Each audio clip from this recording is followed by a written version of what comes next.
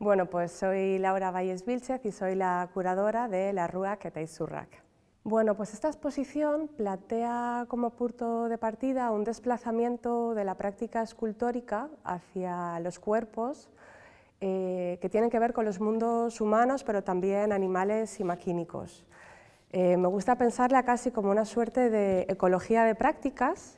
que presenta un paisaje, que presenta una plaza, que presenta casi como un espejo en el que poder mirarte, también una escuela en los que compartir un tiempo con las artistas que hemos invitado en esta ocasión. Eh, me gusta pensar que las obras planteadas en esta exposición plantean varios ejes de trabajo. ¿no? En primer lugar, están, bueno, son varios desplazamientos realmente. El primer desplazamiento tiene que ver con, con la práctica de la escultura hacia otra suerte de disciplinas que presentan estas ecologías que ponen en fricción diferentes formas de hacer. Eh, y que ponen también en valor formas de colaboración, de participación y de entender el espacio expositivo o la labor curatorial como un lugar eh, de eh, trabajo duracional, donde no solo la mirada juega un, un papel fundamental, como tradicionalmente comprendemos en estos, en estos eh, momentos compartidos, sino también donde la atención y los sentidos entran en las formas de producción de las piezas que, vamos a encontrar aquí. ¿no? Tenemos artistas que trabajan con el hormigón, que trabajan con el metal, que trabajan con la lana de hormigón, que trabajan con diferentes materias fotográficas que son tejidos, también fotografía que trasciende las formas en, acabados que tienen que ver con el polvo de sangre o la caseína, que es la proteína de la leche, y que nos hablan en cierta medida de las relaciones entre cuidados y violencia que son inherentes a, precisamente la pulsión material de lo escultórico y también de otras culturas materiales que van más allá de, la práctica artística ¿no? y que tienen que ver con las urgencias de nuestro presente, con las violencias de nuestro presente. Tenemos en primer lugar a Yune Crespo, que está aquí acompañándonos, que parte de su trabajo Core, que es una serie de esculturas que lleva realizando ya los últimos años, desde 2019, y que bueno, desde hace tiempo en su definición o su aproximación de, bueno, de lo que es la práctica en sí misma, un acercamiento al espacio público, también esta idea de plaza que decía al comienzo, eh, resulta que tiene eh, una suerte de invitación para el cuerpo, para la acción, para la performatividad, para entrar en ese sistema de relaciones que de alguna forma activan las piezas. Es una exploración que lleva años tentativamente eh, deseando realizar y que en esta convocatoria pues, se dan las condiciones adecuadas para que estos procesos de aprendizaje, eh, enraizados en las, eh, tareas de mediación y de, programas públicos de tabacalera, pues se dan las condiciones para que esto suceda. Es una pieza que además responde eh, a una primera fase en la que June Crespo y Maggie Barber hacen una película juntas, cuyos eh, remanentes o algunos reductos de esa experiencia mostramos también aquí en Tabacalera, donde hay una intimidad entre el cuerpo humano y la materia. ¿no? Y es ahí donde sucede algo que eh, a través de un material que aparecerá en los próximos meses, que es la goma espuma, se va a generar una suerte de positivos negativos que permitirán habitar eh, estos lugares de, trabajo y de, colaboración en, esta sala. ¿no? Eh, Yael Davis es una artista con la que yo llevo un diálogo bastantes años, como algunas otras artistas que están en esta exposición, incluida June Crespo. Em, eh, cuyo interés para mí o cuya invitación partía de pensar esta idea de la escuela en, la galería, ¿no? cómo se puede transformar un espacio expositivo en un lugar habitado y habitable, donde los tiempos y la permanencia de los cuerpos vayan más allá de la mirada. ¿no? Eh, ya él lleva mucho tiempo pensando en las condiciones de aprendizaje, cuáles son las condiciones y las posiciones que una persona desde la práctica puede adoptar. Incluso eso le llevó a realizar una tesis doctoral de tres años desde la práctica del Feldenkrais, que es un método que vamos a poner en marcha aquí en Tabacalera, porque hay un arraigo con respecto a este método en la región y para mí era importante ¿no? aquí en el País Vasco y yo creo que también más allá, quizás en el Estado español, pero me parecía bonito o mi aproximación al Feldenkrais venía de, aquí y me parecía como muy interesante responder, responder a estas premisas de pensar las lógicas de, em, del aprendizaje en el espacio expositivo con los cuerpos desde el contexto. ¿no? Sacha Jauregui también plantea una nueva, una nueva forma de colaboración. Las condiciones de la, o, la, o la premisa o los marcos que establecía la exposición permitían abordar una un ejercicio de colaboración que ya pronto quiso realizar con Tripac. ¿no? Em, de pronto esto es una pieza en coautoría, no solo Sacha Jauregui, es Sacha Jauregui con, con, este colectivo de escénicas Tripac, que responden al, al, desafío de generar una pieza que desplaza lo escultórico hacia una suerte de dramaturgia que eh, determina una escenografía que ha dado pie a una, a una performance que llevan meses desarrollando de forma eh, colaborativa. Otra producción que tenemos es la de Kimia Kambari, que es una artista que en 2015 se, se traslada de Teherán a Astigarreta eh, y en ese primer momento, en los primeros años, eh, realiza una serie de fotografías que son las que vemos aquí detrás, entre otras, donde empieza de alguna forma a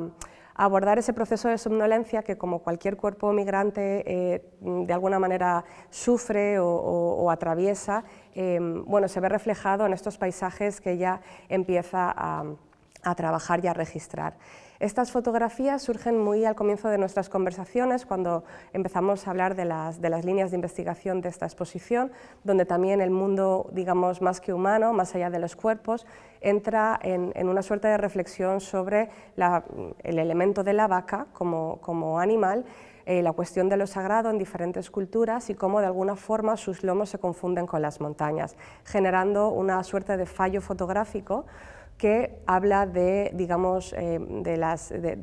los excesos de la representación. ¿no? Yo creo que hay una condición muy, muy de la imagen en su trabajo que se despliega en otros, en otros elementos que aparecen en la muestra. Uno de ellos es el polvo de sangre, eh, que aparece eh, como escultura sobre suelo. Otro de ellos es un cuchillo realizado con galalita, con la caseína, la, proteína de la leche, y que hace referencia Em, a un acto de violencia que tuvo lugar hace unos meses en el que un cineasta fue asesinado de una forma eh, realmente brutal junto con su mujer, pero al mismo tiempo también hace referencia a esa idea de violencia y cuidados que, comentaba al comienzo, eh, porque se encontraba en un, proceso de maternaje, en un proceso de maternidad, eh, de lactancia y en el que había mucha reflexión en torno a las contradicciones entre la, entre la sangre como fluido y la leche, ¿no? y cuáles eran como las posibilidades también eh, creativas dentro de este marco de trabajo que ella quería presentar en Tabacalera. Bueno, el programa es bastante, era fundamental, para mí era importante ponerlo en el centro, ¿no? porque había que poner en valor también el lugar en el que estamos, Tabacalera no es un museo, no hay una colección, es una fábrica ¿no? de creación Em, y me parecía muy interesante trabajar con los equipos de, mediación, de educación, de programas públicos, porque en última instancia eh, la propuesta tenía mucho que ver con las condiciones de aprendizaje, ¿no? como decía al comienzo, y qué mecanismos podemos eh, poner en práctica para, para, desacelerar las lógicas de, em, de, las visitas expositivas en la sala. En ese sentido, bueno, pues aparece la figura de Yael Davis, que para mí era fundamental, eh, si bien es cierto que en otras ocasiones ha sido ella quien ha, puesto en marcha este método Feldenkrais en las salas, aquí nos pareció muy bonito trabajar con, gente que estaba en la práctica en la ciudad. Entonces contamos con Sira Badiola y Paula Rodríguez, que todos los martes a las 6 de la tarde tendrán sesiones de Feldenkrais en la sala y habitarán un poco este espacio. asimismo tenemos la pieza de, de Sacha Jauregui,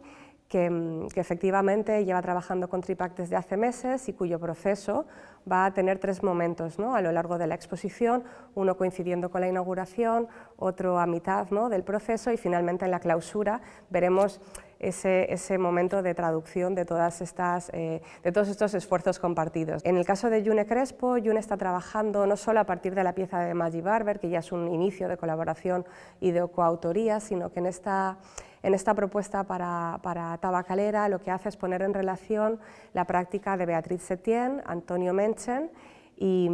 Maya Villot, quienes a partir de este elemento de la goma espuma y las lógicas previas de las experiencias de hace años van a comenzar a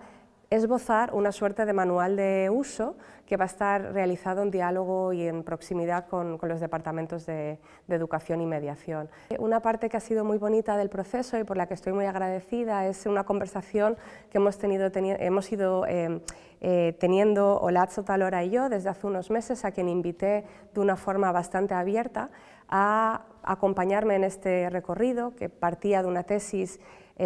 fundada por algunas certezas, pero también por algunas incertezas. una persona interesada en cuestiones de pedagogía, en cuestiones de educación, en cómo se definen ciertos ciertas hegemonías en las prácticas educativas eh, y me parecía bonito pensando en las, diferentes formas de documentación y de registro de las exposiciones, más allá de la foto fija que siempre queda como remanente de lo que sucede, pues construir una narrativa juntas. ¿no? Algo que ha sido muy interesante de ver durante los días de montaje, imagino que los próximos, eh, que estemos por aquí, es incluso la forma en la que la iluminación y el afuera entra dentro. ¿no? Creo que, va a encontrar un espacio ciertamente luminoso y variable, creo que va a encontrar una serie de prácticas artísticas que, como decía al principio, dibujan una suerte de paisaje. Es una plaza, metafóricamente, este espacio en el que estamos, tenemos eh, las montañas, ¿no? en el fondo tenemos un, trabajo que se pone en diálogo con otras artistas que han venido, eh, como Nora Reucochea y, y también Imanisa y Lucía Koch, que plantean un contrapunto a una gramática que, nos permite como disfrutar de un espacio, yo diría que amable, eh, pero no exento de contradicciones, y que con esta ecología de prácticas y también de materiales, bueno, es una oportunidad de adentrarse un poco más en los discursos de, quienes están aquí. ¿no?